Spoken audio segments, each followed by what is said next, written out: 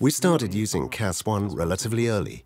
This has helped us to be more precise in our work, and with ablations, great precision leads to better results. Compared to before when we did everything freehand, we can now check that the treatment was successful right away. We couldn't do that before.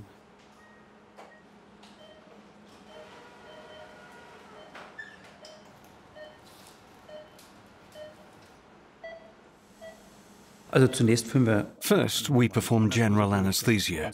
That's the consensus in our team, that we don't use deep sedation, but general anesthesia. You can't always predict how long the procedures will last. That's the first reason. The second is that with some patients, we need respiration apnea longer for the navigation. What always proves difficult, especially in CT compared to surgery, is the positioning of the patient. Everyone has to help. That was a bit difficult at the beginning, but we all learned together, and we also asked the surgery department for assistance. That's important because they do this every day. We have positioned the patient at a slight angle since the HCC is located laterally. That's why we put the vacuum mattress underneath. This way everything stays stable during the entire procedure, nothing moves. In the past, when we did it freehand, we were always present when the patient was being positioned. We were always there to say, please position them this way. We had to say which CT scan we wanted every time. Now the workflow we have created is standardized. That means I don't have to come in until the first CT scan is done and everything is set up. It's all relatively standardized now. This also makes it much easier for me both organizationally and in terms of time. It's become easier for the radiographers too. Now they know exactly what the workflow is, what CT scan they need to run, when, and in which order. For example, the planning CT is now standardized. It's the same procedure for every patient. This means the team doesn't have to readjust every day or with every ablation. Instead, they're aware of each step in the ablation process from beginning to end. We have the information in advance about the position in which the patient is to be placed. As soon as we've put them into the correct position, we'll get the data record ready. Then we'll do the CT scan. As soon as the CT data record is copied to the Cascination console, we'll let the radiologist know that they can come and do their planning. If we take a look at the CT scan here, we can see quite clearly that this area is a bit brighter than the liver tissue. That's the recurrent HCC. That's what we're going to ablate during the procedure, from the surface of the skin here on the screen. I estimate that will mean puncturing from here, laterally. I always take a look at the 3D view so I can get an idea of where the puncture site is. Take a quick look at the rib here. We'd be going exactly through the rib. That means we're going to have to penetrate a little more cranially.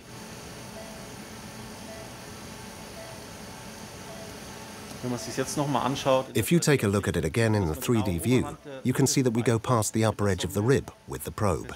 This means it would be perfect in terms of the needle trajectory. We have the artery here, which lies close to the trajectory and is in the way. We'll have to figure out how to get past that.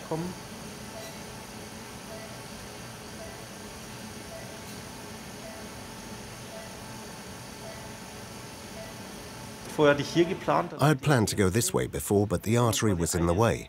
So now we will go in one intercostal space further down. That makes a nice window for us here. This view here is extremely helpful. This is the liver, and this is the kidney. You can see we're quite close to the lower edge of the liver. That means you can go in from a little further up, more cranially. I like to use the function for automatic tumor detection. The tumor is marked in red here in this circle. The system has automatically detected it. The yellow line outside is the safety margin. You can set it in advance exactly as you want. 5 millimeters is the minimum you want as a safety margin.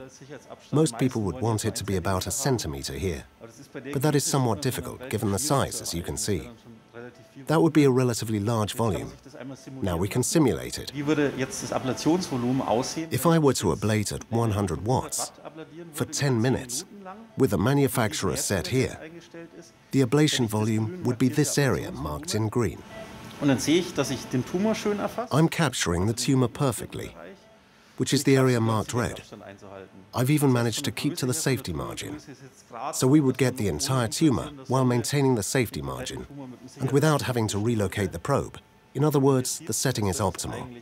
This means we can now turn our attention to the positioning.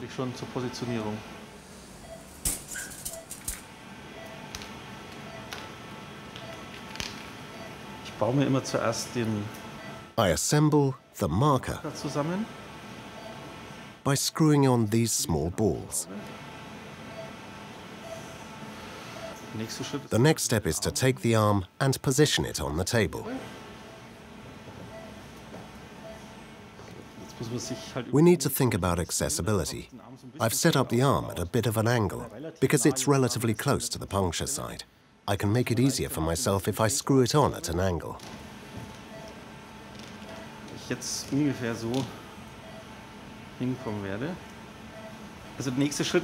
Hier schon The next step is to think about the best angle to attach it. Weil bei ihm will ich I want to locate the needle trajectory somewhat cranially.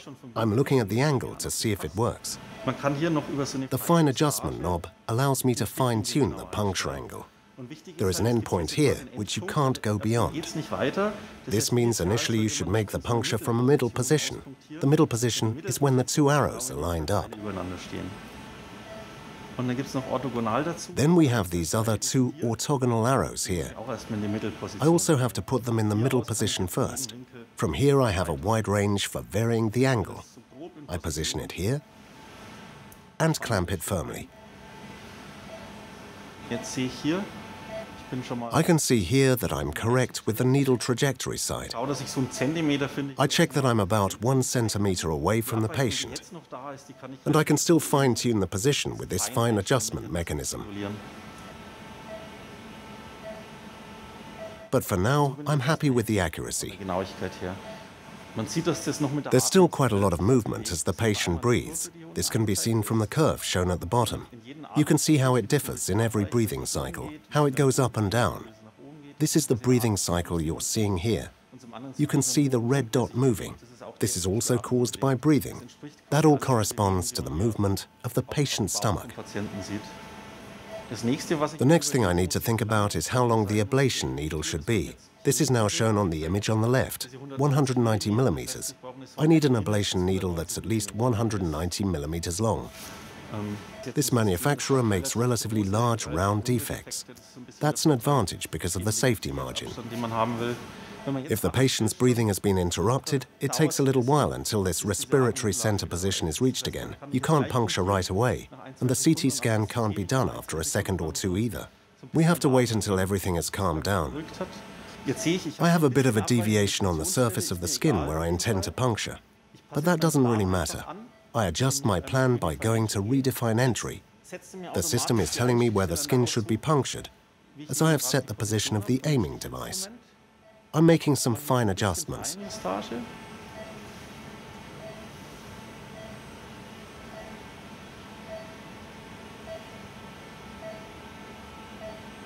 It's very important that you don't put tension on it.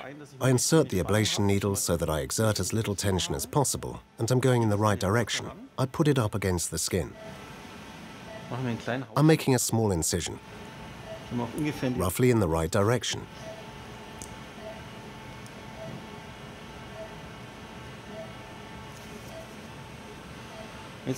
I have to make sure I don't exert any tension on the probe because as soon as I put a little tension on it, there's danger that the ablation needle will deviate.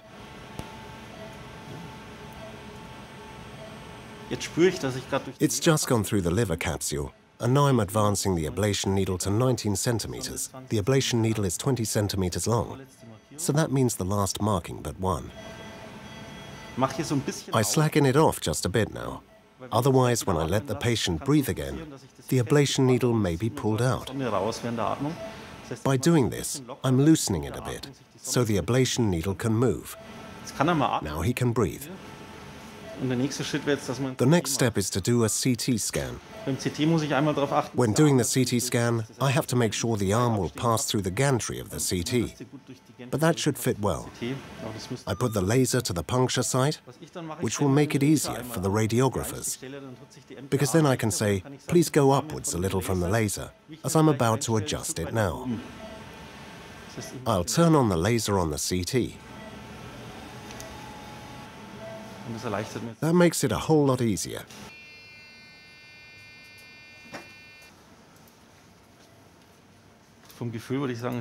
I'd say it looks good, but to see if there's a deviation from the plan compared to the actual position, we can now do this fusion inside the device. Then I can decide whether to correct it by one or two millimeters, or whether I'm satisfied as it is. In the past, when we didn't have a navigation system, you had to imagine all this in your head. This makes it so much easier. The images are sent automatically. This is stored in the CT, so as soon as the images are taken, they are automatically sent here. Now I have to wait for the CT scan to arrive. Here it is. This scan with the probe is now superimposed on the image with the plan that I made at the beginning. I can take a good look. Is there any deviation from the plan? In what direction is the deviation? Is it too great? Do I need to make a correction? Is it still okay? Am I satisfied? Now I can see the needle. This little white bright spot is right on the plan. It's absolutely perfect. Brilliant. I can mark it again quickly here.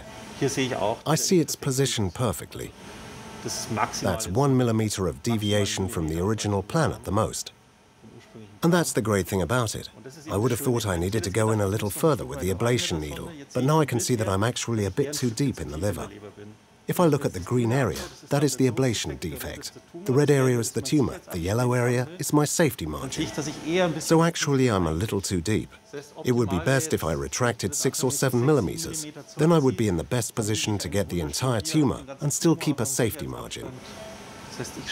I'm retracting the probe by seven millimeters. That was about six or seven millimeters. Now I'm going to ablate at this position.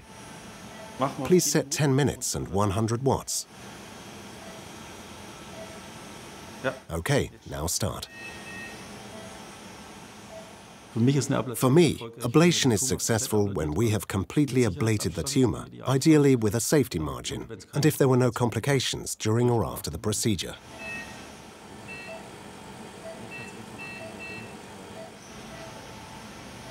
The probe is heated and slowly withdrawn under ablation. There are two reasons for this. First, you want to avoid seeding tumor cells. And secondly, the risk of bleeding is lower if the small vessels are coagulated as the probe is withdrawn. It is important to stop the ablation in time so that there are no burns to the skin.